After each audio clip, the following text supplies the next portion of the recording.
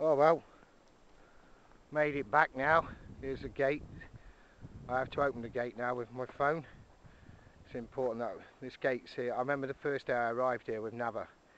Blew me away. I thought, oh shit, where the fuck am I going? But yeah, funny. So the gate should open now. There's a lovely little thing they mate. It's just where we are. But yeah, the gate should open in a minute. Come on, gate. Open up, you bugger. Come on. What's the matter with you? Let me in. I want to come in. Please let me in. Come on. Open sesame. Are you joking? Come on.